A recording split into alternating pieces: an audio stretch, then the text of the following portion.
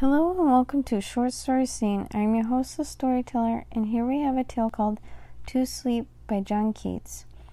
O soft embalmer of the still midnight, shutting with a careful fingers and benign our gloom pleased eyes embowered from the light, and shaded in forgetfulness divine, O soothest sleep of still please thee close and amidst this thine hem my willing eyes, or wait the amen ere thy poppy throws around my bed its lulls charities, then save me of the past day will shine upon my pillow breeding many woes. Save me from curious conscience and still lords, its strength for darkness burrowing like a mole.